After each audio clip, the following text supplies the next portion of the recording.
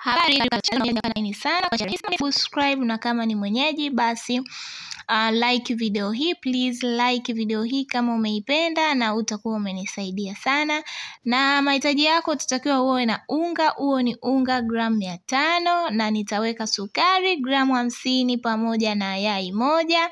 Endelea kupikicha mpaka uone unga wako umechanganyikana na yai, na njia hii ndio itakufanya donati zako ziwe laini sana. Baada ya hapo basi chukua iliki na uweke, naendelea kufikicha. Kama utatumia mdarasini pia ni sawa na ukishafanya hivyo weka hamila yako na uweke maji yako ya uvuguvugu na uanze kukanda donge lako mpaka pale litaposhikana na maji. Endelea kufanya hivyo mpaka utapoona unga wako umekuwa mlaini.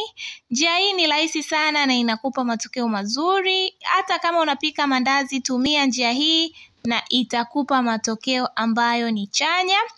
Baada ya hapo utachukua Prestige ama ghee ama um, Blueband basi utaweka na utakanda mpaka hivyo, na ikishafika kama hivyo basi utaweka na uache nusu saa kama hivyo, utatoa hewa.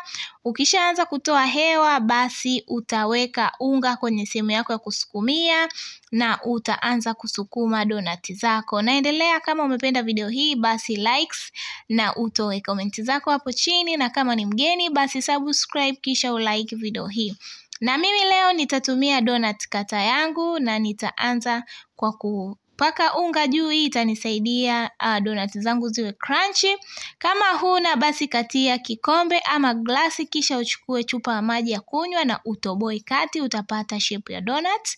Baada ya hapo uta endelea utatoa kama mnavyoona. Kazi yangu ni rahisi sana sana sana, na unga wangu sio mgumu sana, ni mlaini. Kwa hiyo hakikisha unaposukuma basi unatumia unga mwingi.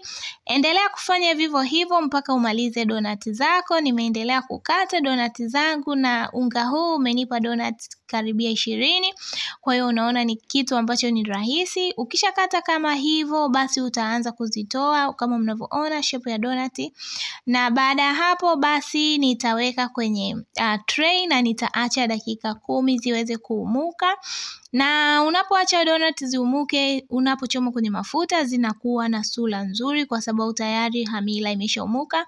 Mafuta yako yakipata ma moto, basi weka donati zako na uache mpaka ziweze kufura juu, na baada ya hapo basi utaanza kugeuza zile ambazo zime umuka na utaendelea na zikishapiga rangi ambayo unaipenda basi utaanza tena kugeuza vizuri na utachoma donati zako hivyo na kuzitoa kwenye mafuta, na baada ya hapo utaacha zipoe. Kama mnavyoona donati zetu ni laini sana na zinavutia, na hilo ndo lilikuwa pishi langu la leo. Ni waage na kusema kwa elini na karibuni tena, bye bye.